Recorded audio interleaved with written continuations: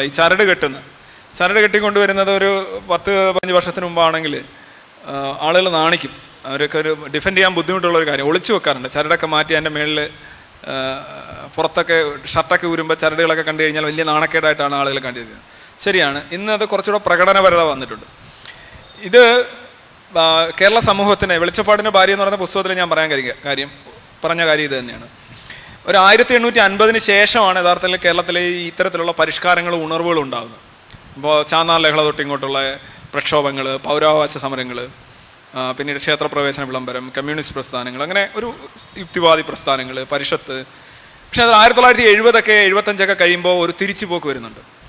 പക്ഷേ ഈ തിരിച്ചുപോക്ക് അതായത് ആയിരത്തി എണ്ണൂറ്റി അമ്പതിനും ആയിരത്തി തൊള്ളായിരത്തി എഴുപതിനും ഇടയ്ക്കുള്ള ഒരു നൂറ്റി മുപ്പത് വർഷ കാലഘട്ടം ഉണ്ടായ ഒരു വ്യതിയാനം എന്നാണ് ഞാൻ അതിനെ വിളിക്കാൻ ആഗ്രഹിക്കുന്നത്.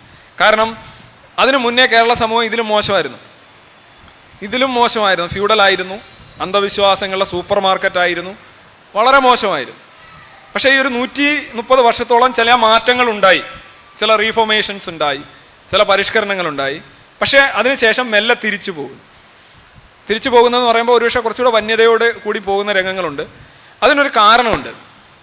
യഥാർത്ഥത്തിൽ ആയിരത്തി എണ്ണൂറ്റി അൻപതിന് മുമ്പ് കേരളത്തിൽ ഉണ്ടായിരുന്നതിനേക്കാൾ കൂടുതൽ അവിശ്വാസികൾ ഇന്ന് കേരളത്തിലുണ്ട്. പക്ഷേ ഇന്ന് മതത്തിന്റെ കൂടുതൽ സമ്പത്തും അവസരങ്ങളും വന്നിട്ടുണ്ട്. ജനാധിപത്യം എന്ന് പറയുന്ന പ്രക്രിയയെ മതം വെർച്വലി മതാധിപത്യമായി മാക്കിയിരുന്നു ഇന്ത്യയിലെ ജനാധിപത്യം എന്ന് പറഞ്ഞാൽ അധികാരം പങ്കിടാനായിട്ടുള്ള അവസരം. മതം പിടിച്ചടക്കിയിരിക്കുന്നു. അത് പലരും തിരിച്ചറിയുന്നില്ല. ഇപ്പോൾ പിണറായി വിജയൻ തൊട്ട് ഒരു ലോക്കൽ കമ്മിറ്റി സെക്രട്ടറി വരെയുള്ള ആളുകൾ അല്ലെ കെ കരുണാകരൻ അല്ലെങ്കിൽ ഉമ്മൻചാണ്ടി അല്ലെ എ കെ ആന്റണി എല്ലാവരും മതസേവയാണ് ചെയ്യുന്നത്.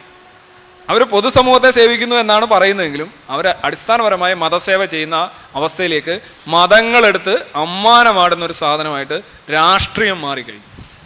വിദ്യാഭ്യാസം മാറിക്കഴിഞ്ഞു. പിന്നെ സമ്പത്ത് നോക്കുകയാണെങ്കിൽ കണ്ണായ സ്ഥലങ്ങളും സ്ഥാപനങ്ങളും ഒക്കെ ആരുടെ കയ്യിലാണെന്ന് നോക്കുക.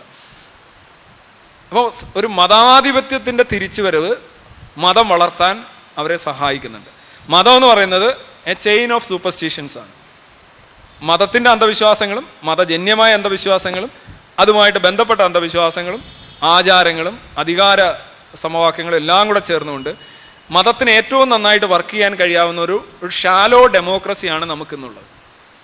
മാധ്യമങ്ങൾ ഇന്നലത്തെ ഒരു സെമിനാർ നിങ്ങൾ കണ്ട്. മാധ്യമങ്ങൾ തുടങ്ങിയത് മതങ്ങളാണെന്ന്. കാരണം എന്താണ്? അവരെ സമ്പത്തുണ്ട്. സമ്പത്തുമുണ്ട് വായനക്കാരുമുണ്ട്. എല്ലാ എല്ലാ മാധ്യമങ്ങളും സുവിശേഷ പ്രവർത്തനങ്ങളാണ് കേരളത്തിൽ ഇന്ന്. ഇവാഞ്ചലിക്കൽ ജേർണലിസമാണ് കേരളത്തിൽ നടക്കുന്നത്. അന്ധവിശ്വാസം എല്ലാവരും ആഘോഷിക്കുന്ന അന്ധവിശ്വാസങ്ങളാണ്. അപ്പോൾ മാധ്യമങ്ങളുടെ കാര്യത്തിൽ ജനാധിപത്യത്തിന്റെ കാര്യത്തിൽ സാമ്പത്തികമായിട്ടുള്ള ഇക്വേഷൻസിന്റെ കാര്യത്തിൽ മതം വലിയ തോതിൽ വിശ്വാസമല്ല കൂടുതൽ ആൾക്കാരുള്ളത്.